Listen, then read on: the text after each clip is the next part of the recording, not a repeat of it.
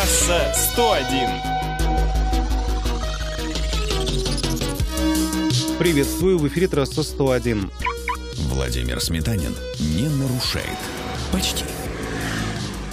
АвтоВАЗ собирается запустить серийное производство двух новых моделей. Это может произойти в 2024-2025 годах. Во-первых, речь идет о кроссовере на базе «Лада Веста».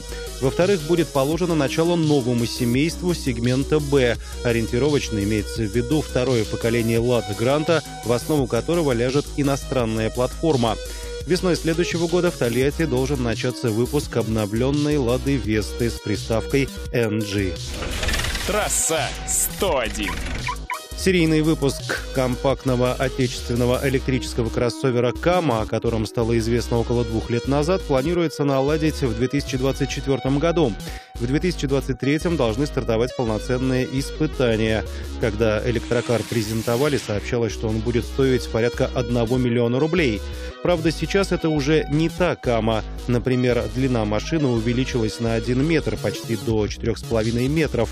Мощность двигателя выросла со 109 до 150 лошадей, а запас хода с 250 до 450 километров. Трасса 101. Автовладелец дошел до Верховного суда, пытаясь призвать к ответу организацию, которая занимается содержанием дороги. Россиянин еще зимой 2019 года попал в серьезное ДТП из-за огромной ямы на трассе. ГИБДД и нижестоящие суды заявили, сам виноват, надо было выбирать скорость движения, исходя из конкретных дорожных условий. Верховный суд, может, и поддержал бы эту точку зрения, если не одно «но». Размеры ямы намного больше тех, что предусмотрены ГОСТом. Да-да, в России даже ГОСТ на ямы имеется. В итоге дело направлено на повторное рассмотрение. Трасса 101. Subaru XV нового поколения получил другое название – Crosstrek. Продажи кроссовера в Японии начнутся в следующем году. Автомобиль изменился за счет иной оптики, бамперов, решетки радиатора. Подвеску модернизировали, улучшив характеристики амортизаторов. Что касается силового агрегата, то это будет симбиоз двухлитрового бензинового мотора и электродвигателя.